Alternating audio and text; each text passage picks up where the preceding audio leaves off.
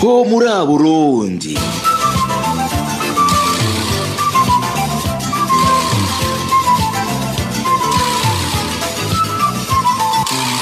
Ho muri Burundi.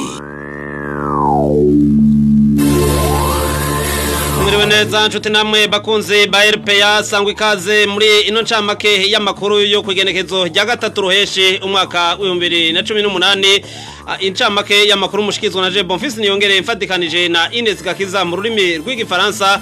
Nayo uriko buhinga bw'ivyuma ni Egide Mwemero uriko afata amasanamu ni MSTV niyunge ko twese hamwe tubahaye ikaze.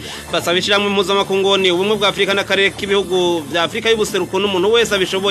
Kubatabara no kubatabariza. Abo n'abarundi b'impunzi bahungiye mu ikambi mu gihugu ca Tanzania mu makambi atandukanye bagatera kamo mu gatandwi y'ijana tabaye ibitero mu makambi y'impunzi ari muri ico gihugu.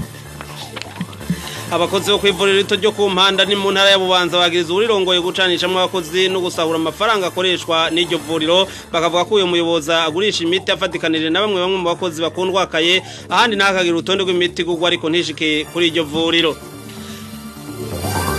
Abaremesha kiyago mu by'amagara y'abantu mu gisagara ca Bujumbura bagiriza utwara akarere k'ubuvuzi muri meri ya Bujumbura ko yanyuruje imfashanyo bahawe n'ishirahamwe ryitaho abana ku isi UNICEF. Abaremesha kiyago bavuga ko uwo mutegetsi yafashe iyo mfashanyo ayiha abanywanyi umugambi uri ku butegetsi CNDD FDD na yo musitantera komine mishiha ni mu ntara ya cankuza domwa ko urutoke mu mugambi wo kunyaga itongo ry'umunyagihugu riri ku mutumba kaniha ni muri zone ya mugera muri iyo komine ya mishiha. Mu muryango wanyazwe bamenyesha ko iryo tongo barifitiye impapuro ziribegurira haraciye imyaka umunani. Basaba uwo mutegetsi kutivanga mu by'amatongo na cane cane ko ata muntu yamwituye ko iryo tongo ari iryiwe. Nino ngaha nyene incamake y'amakuru twabateguriye riciye irangirira duhana isango.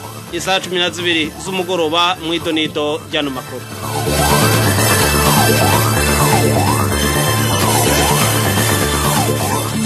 Merci bon fils Nyongere pour le flash d'information en langue nationale. Bonjour et bienvenue à ce flash d'information en langue française.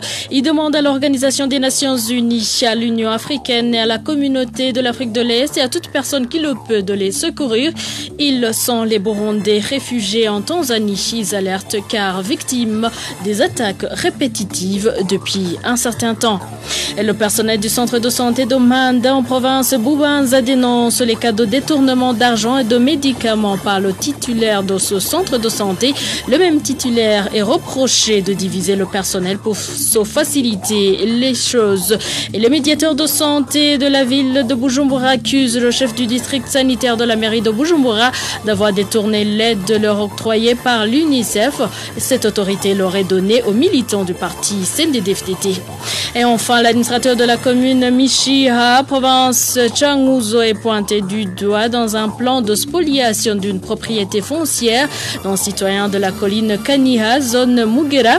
La famille expropriée précise qu'elle exploite cette propriété depuis plus de 8 ans et possède même les documents administratifs nécessaires.